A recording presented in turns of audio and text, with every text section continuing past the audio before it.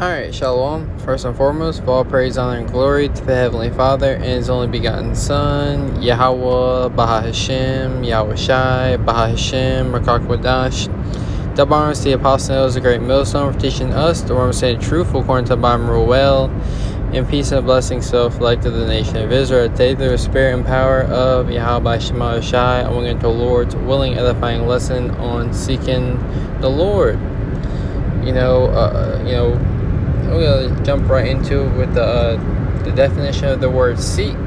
It says search for or try to obtain, attempt to find. So our people, the so-called Negroes, Latinos, Native Americans, should be attempting to find the things that please Yahweh Shai. You see, and how are those things uh, made known via the servants, the prophets? This is a Baruch 4 and 4. O Israel, which are the so called Negroes, Latinos, and Native Americans, happy are we. We see we are very blessed for the things that are pleasing to Yahweh Shema Shai, our power. See, Yahweh Shema Shai is our power. You know, the things that please Him are made known unto us. Yeah, so via the servants, the prophets, via the men that Yahweh by Shema Shai is speaking through let's prove that real quick. This is uh, Matthew's.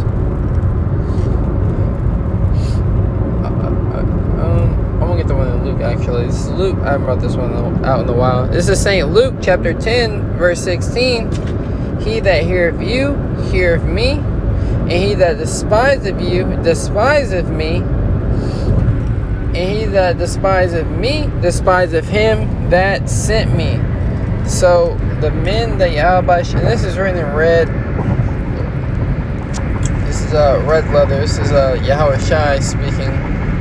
Actually, uh, don't know how to turn on the red letter, but um, it's all fine. So the men that Yahweh Shai, you know, is speaking through is, is teaching you the ways on how to please uh, the Lord. You see, teaching you what is profitable, you know, for you to do in these last days. Is uh, Jeremiah 3 and 14. Turn, O backsliding Israel, saith the Lord, for I am married unto you. You see, so you're we're married unto Yahweh Shema Shai. There's that union, you know. In, in any marriage, you know, uh, you're the wife who, uh, the woman who's the who's servant. That's the etymology of the word woman is supposed to be serve, serving her husband, which is our husband's the Heavenly Father. You see? And how are we supposed to serve the Lord? We're supposed to be seeking out, trying to obtain and, and, find out what pleases Yahweh by Shema Shai and uh, implement those things to our day to day lives. You know, in line, uh, uh, the, you know, what pleases Yahweh Shema Shai, those, those things are supposed to be constantly uh, thought upon, you know, so we can fulfill those things, you know, day to day, you know, such as not eating shrimp, pork, crab, lobster, which all these foods are abominable foods in the eyes of Yahweh Shema Shai. You know, such as, you know, serving other gods, you know, which that's the main one. Jeremiah 3 and 14 Turn, so many repent, O backsliding children, saith the Lord, for I am married unto you, and I will take you one of a city and two of a family and bring you to Zion. A small remnant is going to return. You see, and that's who we do these lessons for. And I will give you pastors according to my heart, which shall feed you with knowledge and understanding. So the pastors are the apostles and elders of great millstone that are feeding you uh, with knowledge and understanding on how to please the Lord, how to get closer to Yahweh by Shema Shai. Now it's up to you to put in the put in the time, the due diligence, right? This is uh, Proverbs 8 and 5. Oh ye simple, understand wisdom. Um Slakia, uh literally drew a blank. This is uh Proverbs uh kind of a long date. Proverbs 8 and 17. This is really what I want. It says, I love them that love me. This is wisdom speaking, you know. Speak, which the embodiment, the embodiment of wisdom is our Lord Yahweh Shai.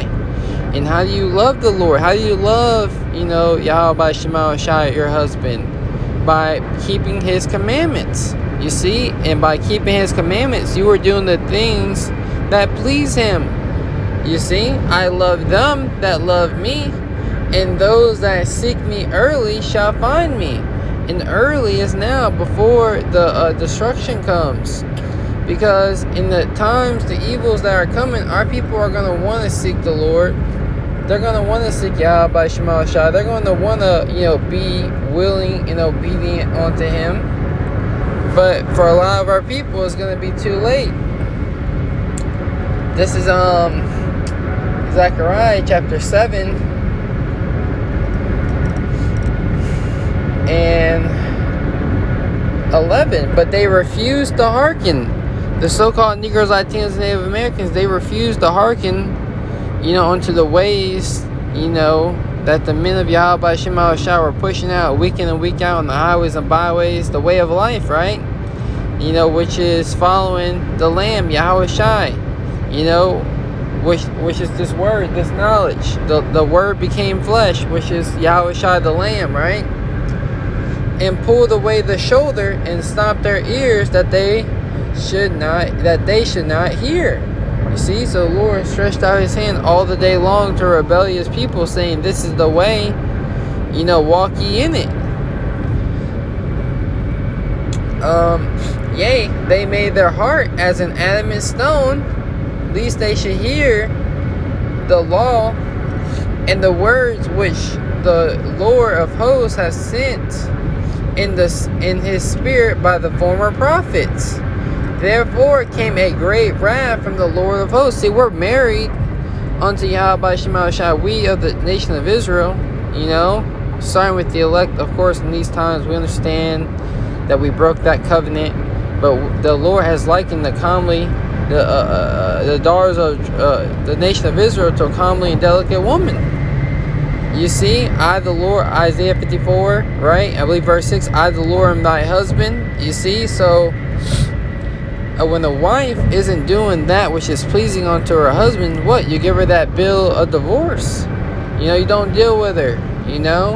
And that's what uh, uh, is, is about to happen to two thirds of the, of the nation of Israel. They're about to be cut off. You know, but we, as, you know, the hopeful elect, which are being bid to the marriage, are trying to be uh, those, those, that bride that made herself ready, the elect you know, striving for that number, you know. Seeking out the things that please Yahweh Shema Shai while we have this grace period. You see? It says, Therefore it has come to pass that as he cried and they would not hear, so they cried and I would not hear, saith the Lord of hosts. You see?